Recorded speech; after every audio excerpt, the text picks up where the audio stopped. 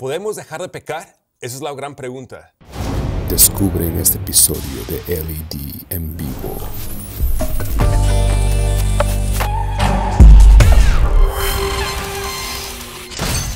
Luz exponiendo lo desconocido. Gracias por estar aquí con LED, Luz Exponiendo lo Desconocido. Ah, si eres nuevo, te invitamos que te suscribas en este canal y vamos a tener ah, más videos de este tipo, conversaciones, invitados. Y, este, y, no te, y no te olvides de compartir con otras personas sobre ese canal y sobre ese tema también. Hoy tenemos un gran tema que vamos a compartir este, con todos ustedes y tengo una- un gran invitado que es Sebastián. Ah, gracias por estar aquí con nosotros y déjame decirte, el tema está nada más con el, con el título. Gracias, Alex. Un placer estar acá. Y la verdad que sí, eh, la verdad, esta pregunta es muy, muy común en las iglesias y por lo general siempre está un 50-50. Algunos dicen que no, algunos dicen que sí. Entonces, vamos a resolver esta pregunta hoy. Pues sí, porque a mí déjame decirles de que podemos dejar de pecar, o sea, esa gran pregunta que la verdad me gustaría este, saber la respuesta, pero hoy que nada, Sebastián tiene la respuesta. en realidad, la Biblia tiene la respuesta y eso es lo que Amén, vamos a ver. Amén, amén. Entonces, vamos a partir con otra pregunta. Vamos a partir con qué significa ser un cristiano. Entonces, Alex, nómbrame características de un cristiano. Ah, amoroso, Ajá. ah, feliz, Ok. amable, Alegre. Alegre. ¿cierto? ¿Qué más? Respetuoso. respetuoso, Ajá. ah, Honesto, ¿no? Honesto, no, claro, claro. Sí. ¿Qué más? Puede ser Este, sincero. Sincero, ¿Qué otra cosa más se te ah, ocurre? justo. Justo. Mira, qué ¿Verdad? bien. Vela por la justicia, ¿no? Amén, ya, claro que sí. ¿Qué más? Eh, No es mentiroso, ¿no? Dice la verdad. Mentiroso, claro que sí. Anda ayudando a la gente. Amén, claro que sí. Ahora, Cristiano. si nosotros tomáramos toda esa lista, ¿tú tienes todas esas características? Ah, estamos trabajando en ello. Y yo también. Estamos, yo creo que estamos todos trabajando en ello. Pero si somos un cristiano, deberíamos tener todo eso, ¿no? Eso sí, este, cuando, cuando escucho esas- ser cristiano, se me va a la mente de los frutos de, del, espíritu, ¿no? Claro, ¿cierto? Entonces, si, si nosotros no tenemos todos esos frutos, si tenemos solo algunos, tenemos que trabajar para poder tenerlos todos, porque mira, fíjate que Primera de Pedro 2.21 dice, porque para este propósito habéis sido llamados, pues también Cristo sufrió por vosotros, dejándoos ejemplo para que sigáis sus pisadas. O sea, un cristiano es un seguidor de Cristo. Entonces, si Cristo fue bondadoso, fue, ayudaba a la gente y tenía, él sí tenía la lista completa, ¿no? Humilde. Claro, humilde. Él tenía la lista completa.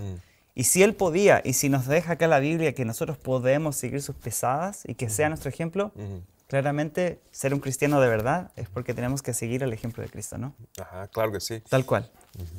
Ahora mira, Primera de Juan 2.6 dice, el que dice que permanece en él debe andar como él anduvo.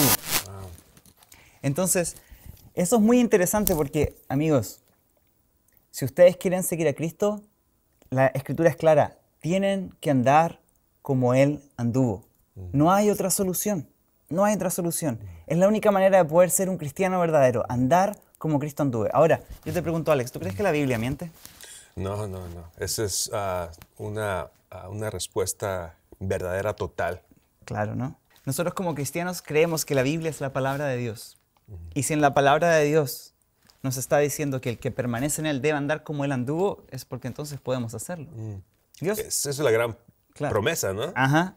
Dios no nos va a pedir nada que sea imposible para nosotros. Ahora, ¿sabes cuál es el gran problema que ocurre en muchas, muchas partes del mundo? Cristo no es el problema, claramente. El problema es cómo nosotros catalogamos a Cristo. Mm, interesante. ¿Sabes? Porque mira, por lo general hay dos tipos de Cristo. El Cristo popular y el impopular. Oh, Y, y por lo general a la gente le gusta dividirlo, cuando en realidad Cristo es solo una persona, ¿no? Y a veces decimos de que, ah, me gusta ese Cristo, pero el aquel no me gusta. El aquel no me gusta, claro, ¿no? Tal cual, ese es el Ah. tema. Porque el Cristo popular es el Cristo que te bendice y te da y te regala la salvación y es gratis. Y no es mentira, es cierto. Es, es- ¿verdad? Gracias a Jesús que tenemos la salvación gratis. No amén. tenemos que pagar por nuestra salvación. Solo tenemos que rendirnos a Él, arrepentirnos. Dios y Jesús nos perdona. Dios nos perdona. Todo por los méritos de Jesús. Y gracias a Él podemos ir al cielo. Amén.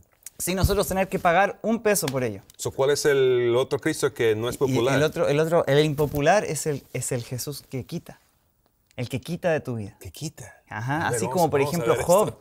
¿Te acuerdas de Job? Ok, sí, Cuando a él, se, le, se le fue todo, ¿cierto? Y él dijo, alabado sea el nombre del Señor. Dios dio, Dios quitó, alabado sea su nombre, ¿no? Entonces vemos que no solo Dios da, sino que también Dios puede quitar. Entonces, mira, interesante. Veamos lo que dice Jesús en Mateo 11, ¿no? 28, 29. Dice, venid a mí, todos los que estáis trabajados y cargados, yo os haré descansar. Llevad mi yugo sobre vosotros y aprended de mí que soy manso y humilde de corazón, y hallaréis descanso para vuestras almas.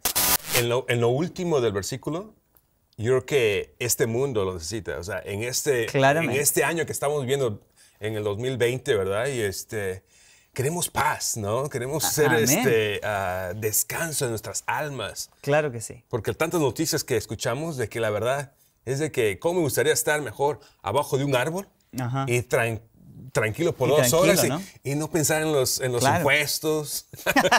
Todo eso, sí. Pero mira, qué interesante acá que el verso dice que nos va a dar descanso, nos va a hacer sentirnos con paz, pero hay algo entre medio que quizás no nos dimos cuenta. Dice, llevad mi yugo sobre vosotros. Y esa es la parte que la gente ya no le gusta, ¿no? Entonces ahí dice, no, pero mira, a mí me encanta que Cristo me da paz y que yo puedo ir hacia Él y me, y me- me hace descansar.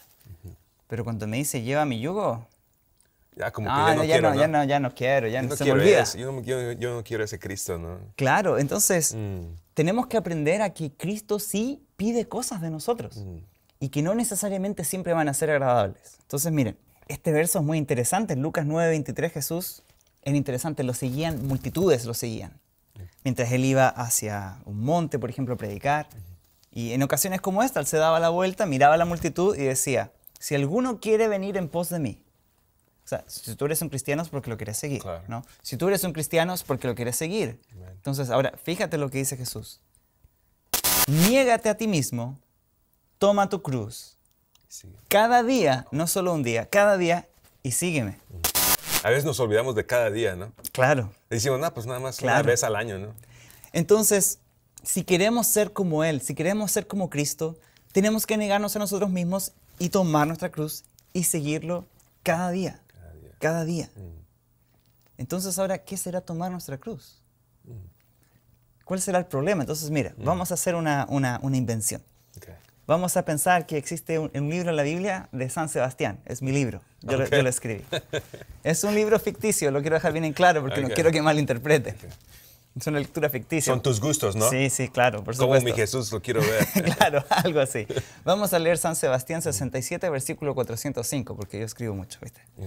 Entonces, ¿hay alguna comida que no te guste? Creo que griega. La griega. La probé una vez. Sí, o sea, ¿no me te gusta gustó? algunos, me gusta algunas cosas, pero.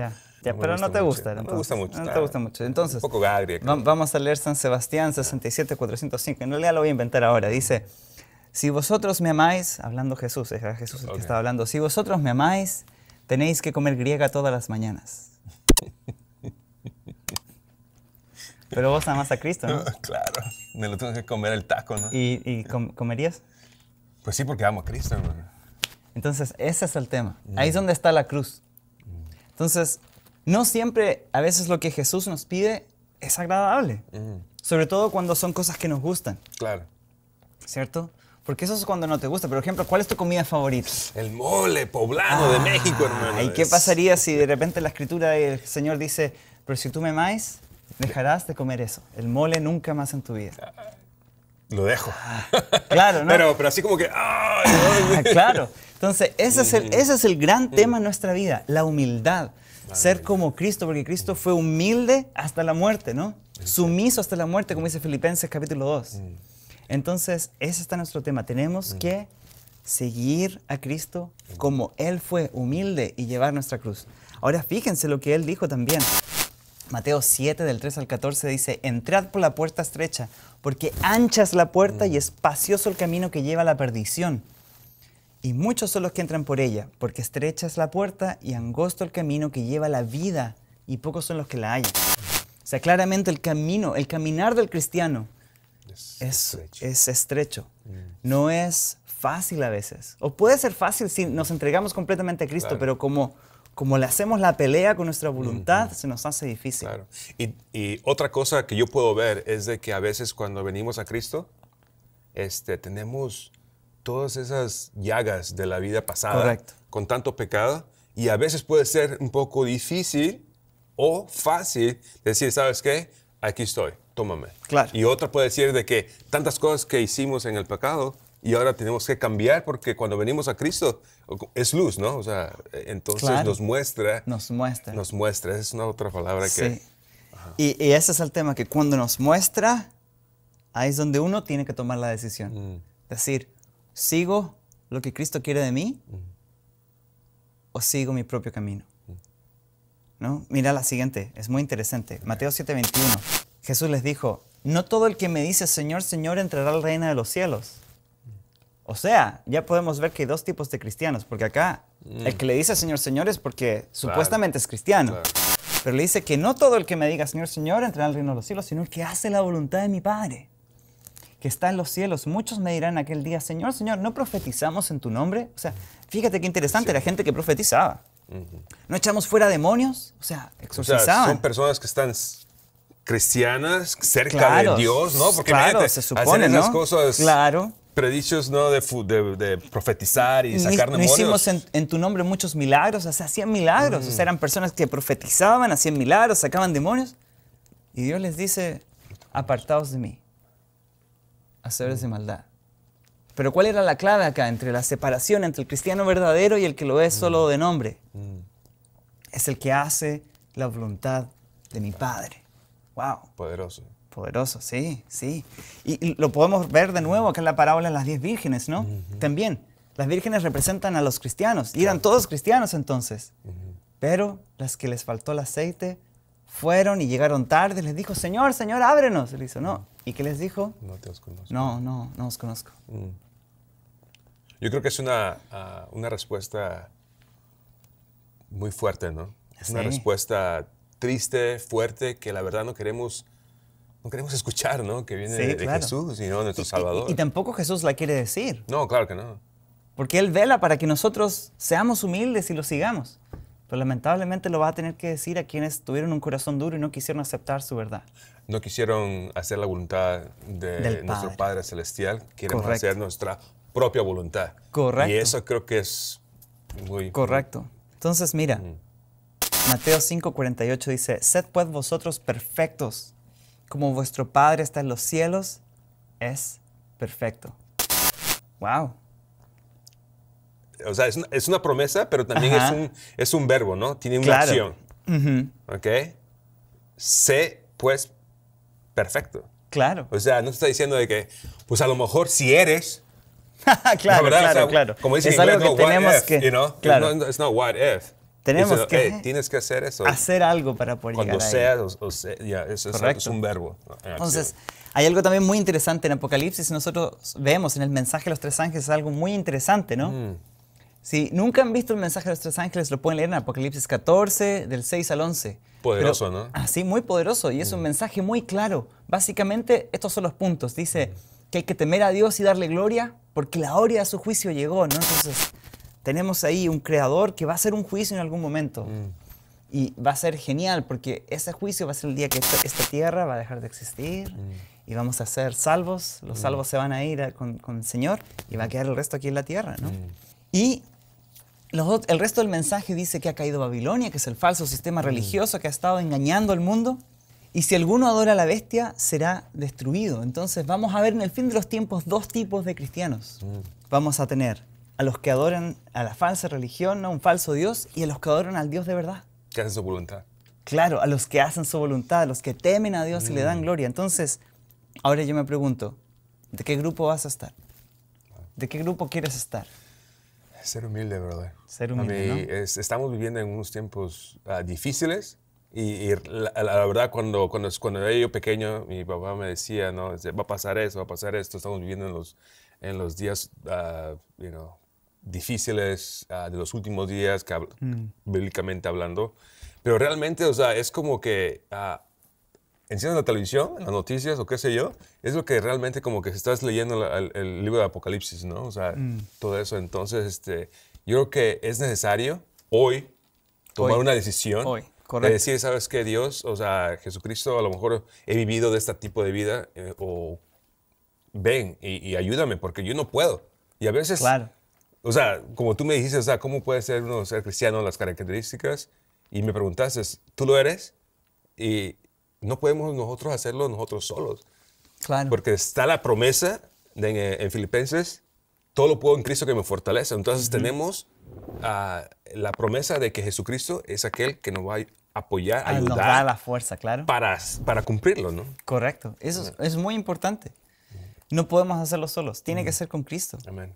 Ahora, lamentablemente, muchos piensan que porque ah, ya, ya se bautizaron y van a la iglesia y, y ya está. Fíjense qué interesante. Por eso el mensaje de los tres ángeles es tan importante. Fíjense que dice acá, conforme vaya acercándose la tempestad, muchos que profesaron creer en el mensaje del tercer ángel, pero mire qué interesante, no fueron santificados por la obediencia a la verdad. Abandonarán su fe y serán engrosar a las filas de la oposición. Qué fuerte. Porque yo me imagino, oye, mis amigos en la iglesia, Claro. padres de amigos, Pastores. pastores, ¿no? Oh. O, o quizás yo, Ajá. ¿no? O yo. Claro. Imagínate rechazar el mensaje que Dios me ha dado y ir a engrosar las filas de la, de la oposición. Estamos utilizando una palabra, la humildad. Mm. Y yo creo que ser cristiano en ese tiempo clave, que estamos viendo ¿no? es clave. ¿Sabes por qué? Clave. Porque, como tú dijiste, o sea, hacer la voluntad de Dios. Entonces tienes que ser humilde para aceptar no el yo, como decimos, ¿no? Pero decir, ¿sabes qué? A- aquí estoy, ayúdame. O sea, sí, Haz de mí lo deja que quieras. Exactamente. Pero déjame decirte, no es algo débil la palabra humildad. O, o- o- o- o- o Sí. poner todo abajo y decir, bueno, pues soy... soy- ¿sí Sí, me entiendes? no- O sea, no significa debilidad, No, claro. no, no, déjame decirte porque te entregas a Dios, pero estamos hablando del Dios Todopoderoso. Amén. Que tú dices, ¿sabes qué? Voy acá, humildemente quiero hacer tu voluntad. Y Dios dice, ¿sabes qué? Conoce nuestro corazón y dice, ¿sabes qué? Te voy a bendecir. Amén. Hay Sí. una, hay, hay- hay una par, un- Somos un- poderosos en su mano. poderosos en el espíritu. Ajá. En las manos de Dios, Amén. cualquier cosa es posible. Qué lindo, esto me encanta. Cuando el carácter de Cristo sea perfectamente reproducido en su pueblo, entonces Él vendrá para reclamarlos como suyos.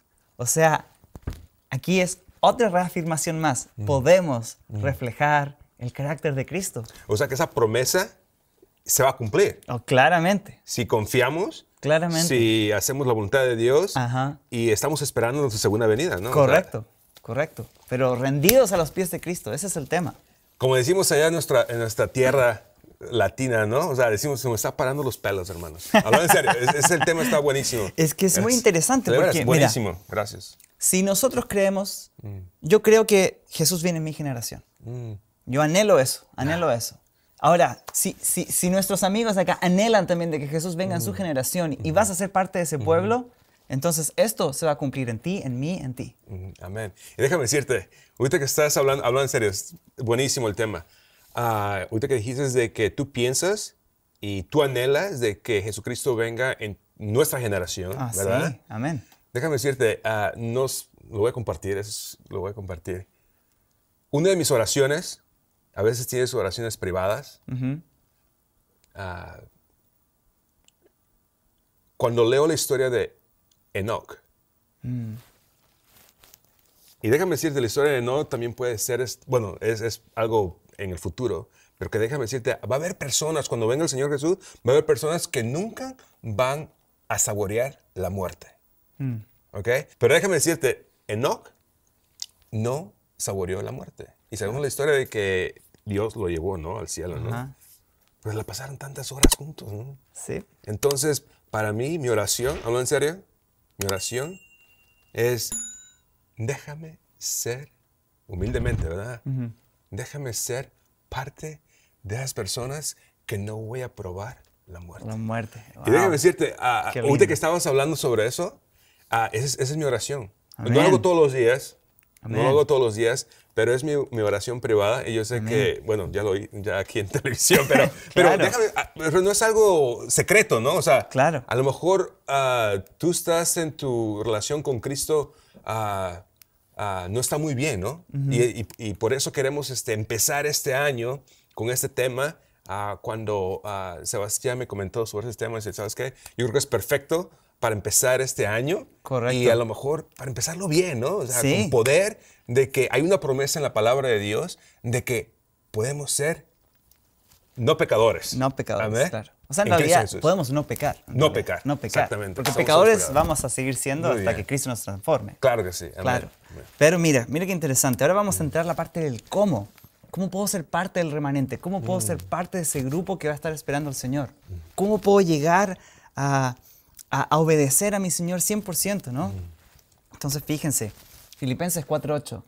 Es un verso muy común, creo que todos lo hemos escuchado, pero debemos aplicarlo cada día. Dice, por lo demás, hermanos, todo lo que es verdadero, todo lo honesto, todo lo justo, todo lo puro, todo lo amable, todo lo que es de buen nombre. Si hay virtud alguna, si alguna alabanza, en esto pensad. Entonces, ¿sabes cuál es el problema? Satanás es muy inteligente, muy astuto. Y empieza a analizar todas las cosas que hay en tu vida, desde la música que escuchas. Analízala a través de este filtro de versículos. es, es- es honesta, es pura, hay algo digno de alabanza. Eh, lo que ves en, en- en YouTube o en, o en la televisión, en el cine. Las pláticas con tus amigos. Claro, lo que tú ves con tus amigos, eh, lo que ves en las redes sociales, todo lo que haces en tu vida, los estás filtrando a través de la voluntad de Dios, a través de su palabra. Es honesto, es puro, es digno de alabanza. Mm. Yo creo que si aplicáramos este verso más seguido en Mm. nuestra vida, quitaríamos muchas cosas. Y ahí es donde está la cruz. Ahí es donde está la cruz, donde nosotros tenemos que tomar nuestra cruz cada día, ser humilde y decir, Señor, esto yo lo he hecho por años, me encanta. Amo ver esta serie, ponte tú, que no tiene nada que ver con lo que tú me estás pidiendo acá. Señor, ayúdame. Quiero renunciar a esto. Dame fuerza. Sin el Señor, sin Cristo, no va a ser posible. Tenemos que buscar al Señor todos los días y tomar decisiones también cada día. Y Dios va a ir puliendo nuestra vida, nuestro carácter. Y cuando Dios nos da esa oportunidad, porque déjame decirte, cuando nosotros vamos a rendir eso, Dios nos va a bendecir y nos va a sacar de ese lugar y vamos a Correcto. ser libres. Serio, Correcto. no- la felicidad ya no va a estar eh, en, esa, en esa serie, como tú dices, o con la chica, o con eso, o qué sé yo, ¿no? Cualquier vicio que sea. Entonces, claro. Jesucristo, cuando entra en nuestras vidas, vamos a encontrar la felicidad y vamos a encontrar la felicidad con... Yo creo que va a tener una, una vida, a veces decimos eso, pero uh, como que a veces decimos, "Mm, una vida simple, pero simple, poderosa. Ajá. Eso es lo que experimentado. con paz. Con paz. con paz, como decía el versículo, ¿no? Mm. Fíjense, 1 Corintios 10, 31, si pues coméis o bebéis o hacéis alguna otra cosa, hacerlo para la gloria de Dios. Y yo ni siquiera quiero tocar el comer y el beber, Mm. sino el hacer cualquier otra cosa. Entonces, simplemente pregúntate, lo que sea que tú hagas, Mm. ¿es para la gloria de Dios? Solo dos versículos de toda una Biblia ya nos dicen tanto de lo que podemos aprender, de lo que Cristo quiere para nuestras vidas. Entonces, si ahora tienes todas las ganas de empezar a ser como Cristo y quieres, sí, yo quiero ser parte de ese pueblo, quiero tener su carácter, quiero reflejar a Jesús al resto del mundo para que lo puedan conocer y ellos también puedan ser salvos, ¿no? Que es nuestra misión, tenemos que ir a las otras personas Claro. y contarles del Evangelio. Bueno, pues ahora, como dijo Jesús, si alguno quiere venir en pos de mí, toma tu cruz, niégase a sí mismo, toma su cruz cada día, sígame. Empecemos a hacer lo que Cristo nos pide. Y mira, voy a volver a este verso que es tan lindo. Ok. Cuando el carácter de Cristo sea perfectamente reproducido en su pueblo, Él vendrá y nos vendrá a buscar. Wow. Entonces, claramente, ahora yo, yo te- yo te pregunto, si yo tengo el carácter de Cristo, voy a seguir pecando. Yo creo que si te digo que sí, ah, puede ser un poco conflictivo. Claro, conflictivo. ¿Verdad? ¿Cierto? Sí, sí, sí, muy conflictivo. Y si digo que no, eh, eh, pero está la promesa. Puede sonar muy, muy como Es así extremista, como ¿no? que, ¿y y ese que se cree como Pero Dios? fíjense qué interesante. Pero, El, el tema no es creerse como Dios, sino, fíjense, ¿quién le hizo a Dios el desafío de decirle tu ley es incumplible? oh, Lucifer, Satanás. Entonces, ahí está, si nosotros Mm. tenemos eso en nuestra mente es porque alguien muy astuto la puso ahí. Mm. Satanás es el que hace creer al mundo de que la ley del Señor no se puede cumplir. Mm. Pero nosotros tenemos libre albedrío. Si el libre albedrío no existiera, Y si tú no pudieses dejar de pecar, entonces eso quiere decir que es imposible que frente al pecado tú le digas no. Ajá. Es, tan- es, es como un ejemplo. Claro. Tú puedes fumar, Claro que puedo. ¿verdad? Sí, claro que Ay, puedo. Claro, yo también puedo fumar, ¿no? Sí, claro. Pero el poder es, no quiero. Decir no quiero, claro. Exactamente, o sea, Correcto. no gracias. Entonces el tema, el tema de dejar de pecar no es algo que tú solo vas a poder lograr. Si tú te entregas al Señor todos los días, si tú estás velando por hacer su voluntad siempre y tu conexión cada día crece y crece y crece, poco a poco, día a día vas a ir resistiendo el pecado y va a llegar un momento en el que puedes por la gracia de Dios, dejar de pecar. Eso no significa que vas a dejar de ser un pecador, y eso Ok. creo que quede muy claro porque hay muchas malinterpretaciones de esto. Gente, alguien puede malinterpretar esto. Y no, pecadores vamos a ser hasta que Cristo venga, y Él ahí en ese momento, en un abrir y cerrar de ojos, seremos transformados. Pero eso no quiere decir que tú puedes parar, frenar y dejar de pecar. Porque déjame decirte, hay, hay varias personas que he conocido que piensan de Jesucristo vino a, a abolir la ley, ¿no? Claro, en la correcto. cruz, en la- y todo Ajá. clavado en la cruz, qué sé yo. Es como que, en otras palabras, como que si te dan una licencia para pecar, ¿no? Claro, una licencia, correcto, Así como que, correcto. O sea, como que no, o sea, Claro. no, no está correctamente como dice la palabra de Dios y como la persona lo está diciendo. Es como que, imagínate, nada más Jesús vino a la cruz del Calvario para que, ok, podemos Sí, decir no. tantas cosas, ¿no? Pero digo, o sea, una licencia para pecar. No, claro que no? no. Pero lo bueno es que si tú te equivocas, yo me equivoco, no hay problema. Mm. Porque si estás realmente arrepentido, Jesús nos perdona y siempre nos da una nueva oportunidad. Pero mientras más nos acerquemos a Él, menos vamos a pecar porque vamos a querer hacer su voluntad. Hasta que el momento cuando Él venga, su carácter va a estar perfectamente reproducido en nosotros. No sé si ahorita va a ser, pero la verdad yo quiero saber cómo puedo obtener Eso. eso para no pecar, ¿sabes? Claro. Ahí viene Bueno. más porque la verdad está Sí, sí, muy sí, sí. Bueno, ya vimos los versículos ya Ajá. y claramente tenemos que filtrar lo que Claro, entra claro, en esos dos mente, versículos ¿no? buenísimos. Efesios 4.8, 1 Corintios. Ajá. Eh, 10 creo, puedo volver atrás. Claro. Mm. Eh, 1 Corintios 10, 31. Como tú decías, la clave es la humildad. Sí. Hermanos, la humildad. Amigos, si no somos humildes, no vamos a poder nunca ser felices haciendo la voluntad del Señor. No vamos a poder. Ahora fíjense, si ustedes revisan Romanos 12.1, Efesios 5.27, esos versículos nos llaman a hacer un sacrificio vivo, santo, sin mancha, agradable a Dios. Ahora, esto, para los que no saben, nos lleva al tiempo de cuando el pueblo de Israel sacrificaba un cordero, ¿no? Simbólico del Mesías que iba a venir a morir por nosotros. Ahora, ¿cómo tenía que ser ese corderito? Sin mancha. ¿Podía ser cojito? No, no, no, has to be perfecto. Perfecto. ¿Puede tener una oreja caída? No, no, Una no. manchita por acá. No, No, no. no. Porque era una imagen, figura del Mesías, ¿no? Una representación Correcto. del Mesías que iba a venir. Pero fíjate acá, Romanos y Efesios nos está llamando a nosotros a hacer un sacrificio vivo, santo y sin mancha, Agradable. a agradable Dios. Mm. a Dios. O sea que podemos hacer ese sacrificio si Dios nos los está pidiendo. Claro. Claro que sí. Entonces por eso, ¿podemos dejar de pecar? Amén. Claramente que Jesús. podemos dejar de pecar en el Señor. Por ti mismo no vas a poder nunca.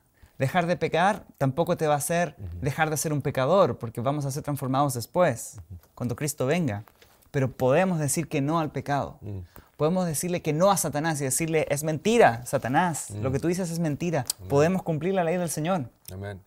porque solo para nuestro bien. Y todo con la fuerza del Señor. Tengo una pregunta. Sí. No sé si más adelante o va a ser otro tema, pero te voy a hacer una pregunta. ¿Pero qué es la diferencia de la tentación? Ah, la tentación. Porque déjame decirte, o sea, ll- llegar a pecar, o sea, va a haber algo, ¿no? Aquí. Claro. Entonces, ahí está la tentación y después llega la... Entonces, ¿la tentación es pecado? No, claro que no, claro que no. Mm. La ten- cuando uno peca es cuando uno deja, deja acepta la tentación. Acepta la tentación. Acepta la tentación, Ok. claramente. Entonces, escuché una predicación cuando de un pastor. transgrede, claro. Ajá. Sí, sí. Escuché una predicación este, súper interesante sobre el pecar y todo eso. y decía este pastor, ah, cuando vas caminando y ves una chica, estamos hablando de una chica, ¿no? Ves Una chica y pues tú sabes, no, no, no tiene mucha ropa o un buen cuerpo, qué sé yo, ¿no? Ah, lo ves, ¿no? Pues está enfrente, ¿no? ¿Qué sé yo? O sea, Claro, se la ves. ¿no? Ya. Pero si volteas la, la ya, la- ya las dos veces como que... La segunda ya va por otra intención. ¿no? Exactamente. Entonces, la primera como que no sabes o qué sé yo, una, o sea, está la tentación, está ahí, ¿no? Claro, Pero ya como que lo vuelves a ver otra vez, ahí ya es- podemos decir, está el acto. claro. Del pecado. Del, del pecar. Claro, porque como Jesús mismo dijo, ¿no? El que le dice ya fatuo a su hermano, o sea, que le dice tonto, ya es digno de, de como si lo hubieses matado. Quien adultera en su corazón, ya adulteró. Y muchas personas dicen, ¿sabes qué? Jesucristo no vino acá para abolir la ley. La ley, No, o sea, totalmente, totalmente diferente. Yo Claro, creo que Jesucristo claro. lo vino a magnificar, o sea, lo hizo más amplia, Claro. ¿no? Ajá. Le dio el sentido verdadero. y, y si nosotros analizamos la ley de Dios, no son leyes para que la pasemos mal, al contrario, son leyes para ser feliz. Yo creo que son promesas para ser feliz. Claro. Creo que hay un libro, de las 10 promesas para ser feliz. Esos son los 10 son los mandamientos. claro. Ahora mira, Primera de Juan 3.6 dice, todo aquel que permanece en él no peca. Wow. La Biblia misma lo dice, clarizo. Todo aquel que peca no le ha visto ni le ha conocido. Entonces, obvio, si tú permaneces en Cristo y viene una tentación, ¿vas a decir que sí o que no? Bueno, si permaneces en Cristo, claramente vas a estar con Él y vas a decir, Señor, ayúdame. No. Y dices, no. Claro, pero por eso, todo esto, para poder lograr esto, depende de nuestra comunión con el Señor. Mm. Entonces, pregúntate a ti mismo. Yo me pregunto también a mí mismo, ¿cómo están tus cultos todos los días? Mm. ¿Estás dándole tiempo a Jesús para leer la Biblia, aprender de su voluntad? ¿Estás eh, siendo temperante con tu vida, no? Mm. Entonces, eso es muy importante. Es clave. Empezando este año, es- yo creo Claro. que eso es lo, lo primordial, ¿no? De, de examinarnos Ujú. y, y- y, este, empezar una vida, una vida nueva, ¿no? Correcto. Invitar a nuestro Señor Jesús que venga a nosotros, que nos Sí. apoye, que nos ayude. Yo creo que lo mejor que podríamos decir es decir, Señor, ayúdame en este nuevo año a tomar mi cruz. Amén. Ayúdame a ser humilde hacer tu voluntad. Ahora, yo simplemente quiero aclarar, porque nos falta el que le gusta malinterpretar. Aquí no estamos diciendo que vamos a ser salvos por nuestros propios méritos. No. El orden es así. Yo soy salvo porque Jesús me salvó. Ahora, consecuencia de que porque Jesús me salvó, yo lo amo y quiero hacer su voluntad. Porque somos salvos por gracia. ¿no? Por gracia, correcto. Amén. Correcto. Y, y así como, o sea, tú estás casado, yo soy casado, Claro. y tú amas a tu esposa, Amén. ¿Eh? y Claro haces sí. cosas porque tú la amas, Claro, ¿verdad? correcto. Es como Jesucristo, ¿no? O sea, Correcto. Entonces, todo esto es simplemente es un fruto de porque yo amo a Jesús y me regaló la salvación. No es que yo haga esto para ser salvo, no. Es completamente al revés. Yo porque ya soy salvo en Jesús, yo quiero ser como Él y busco hacer su voluntad. Escuché una predicación ah, varios años atrás que me, la verdad me, me vi la- el, el cristianismo totalmente diferente y este, yo creo que eso a, a- lo mejor alguien puede ayudar. Ah, Pastor Alejandro Bullón Ajá. y tiene un título que se llama 24 horas con Jesús. Imagínate, 24 horas con Todo el Jesús. tiempo. Todo el tiempo. O sea, ¿dónde? O sea, no, no voy a dormir. Pero déjame decirte, ah, eso lo escuché cuando estaba yo en, la- en el bachillerato, preparatoria, high school. Y este, la verdad eso me ayudó bastante porque cuando él, él- él comenta de que ah, te levantas y tenemos esa, esa, esa costumbre, ¿no? Levantarte, le das gracias al Señor Jesús, haz oración, ¿verdad? Y cuando vas a cepillarte los dientes, estás cantando un corito o estás cantando Claro. una canción cristiana, ¿ya? Y te vas a, a- sentar a comer tu desayuno y le estás pidiendo ah, gracias a, a- Dios, ¿no? Y, y durante el día, y a veces tienes que platicar y decir, oye, ah, ¿qué tipo de chamarra que me voy a poner? O sea, esa comunicación como un amigo, ¿no? Claro. Es Jesucristo y durante el día, y él platica muy bien sobre, ah, platicando con Jesús durante el día, Claro. vas caminando, escuchando una predicación. Tener a O Jesús sea, de compañero, no todo el Exactamente, día. constantemente, pero este, eso me ayudó muchísimo, 24 horas con Jesús. Y a eso tenemos que llegar. A eso tenemos que llegar. Mira, qué, qué- qué lindo esto. Mira, ser redimido significa dejar de pecar. Wow.